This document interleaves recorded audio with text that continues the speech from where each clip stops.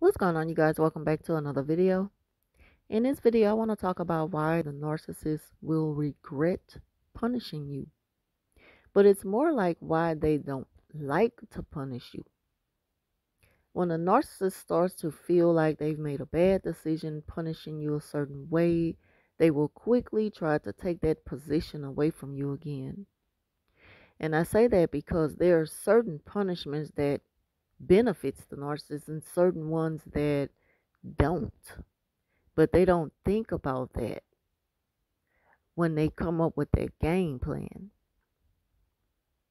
So at work, one of the narcissist's closest servants advised her to use me to do something that the narcissist normally do.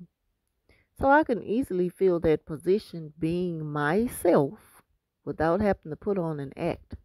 Because again, like I told y'all in the past, we all know how to do the task and that we all know what to do already. It's for anybody, you know. And so the thing is, what narcissists don't like about that is chances are people are going to start to admire you, take a liking to you. You know, you're going to do it better than the narc the narc already think that they're up on you and you know they're they're gonna be requested for something based off how much they have love on people and um you know gave false promises to just kind of breadcrumb them along. And you come along and you don't have to do none of that to fulfill that position but people still flock to you in a way to where they just genuinely admire your character, your personality. It's soothing, it's welcoming. It doesn't make them feel like they have to do something in order to get that out of you. Whereas the narcissist is always putting on an act. So it's just like they only give you the person that they've created in their mind when they feel they can get something from you. Whereas you don't think that way. You're just doing the right thing. Not because it's something that you're looking for in return. So that's why the narcissist will regret punishing you when they feel that you will feel the position better than they can. That's why I say sometimes they don't want the smear campaign to do a little bit too much because it it ruins their plans of what they're trying to do to you. The smear campaign only goes on, you know, we have to, you know, keep keep this up about this person being such a horrible person. They've hurt you, and we have to warn people about them, right? And the narcissist is like, yeah, but slow your roll. Just wait until I give you certain orders. Don't go before me and get too ahead of yourself because sometimes I may still, you know, want to deal with them. And so that leaves the new supply or the, you know, just supply in general just thinking like, okay, I'm confused because in one breath you're screaming that you hate them and you want the world to know they're horrible first. And in the second you know the same breath you're like but you know i don't want you to say nothing about it. I just want you to feel that way about it so that you can stay away from them. And that you would think that that would open people's eyes to think for themselves but it don't. The narcissist can still easily pull the wool over people's eyes to make them believe what they need them to believe about somebody else. Like that old saying goes, you know, um, if the narcissist can't control you, they're going to control how people see you. So it's just like at any given moment, they can just turn that off. Not so much the feeling of how they feel about you, they turn it off to put on an act and that confuses their new supply because the new supply again is like well i thought you hated them stuff like that but again that's why they regret punishing you because they don't want you to take too much of the shine Because now chances are they'll be forgotten about. And that is one of the things that narcissists fear the most is being forgotten about. They must always be remembered for being such a great person. They must always be remembered and known for being this false character that they put on. Whereas it's not hard for you, it comes easy, it's natural because that's your true personality.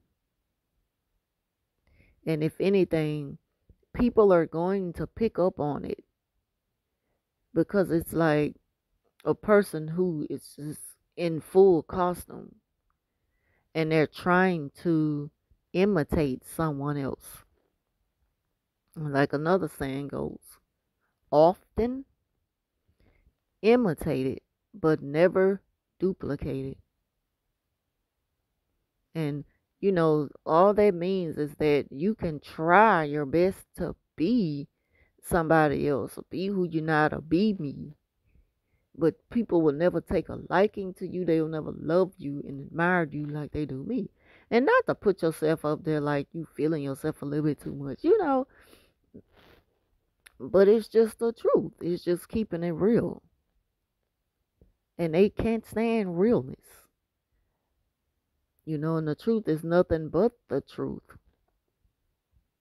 There's no way that you can turn that into anything else. The truth is nothing but the truth and can't be nothing but the truth at the end of the day. It's just all about what people choose to believe. And deep down inside, trust me, those people have doubts. They have doubts. That's why they sneak and try to conversate with you. They sneak to find out are you really living that way? Because they want to know, you know, am I punishing this person for nothing? But they sneak and do it because they are afraid of the narcissist.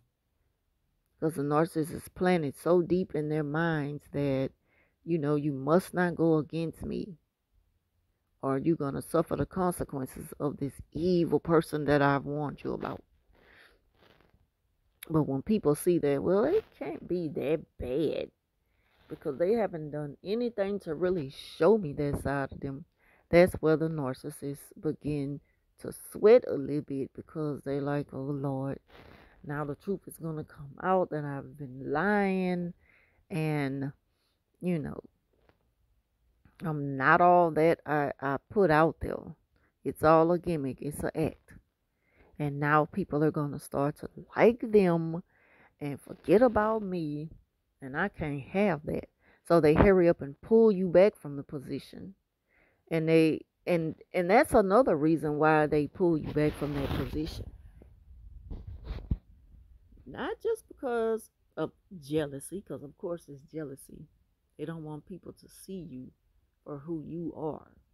They don't want people to love you. They want to be loved and admired the most they pull you back from that position because now they're looking at you know like they're showing them love differently than they normally show me because i give them the same thing.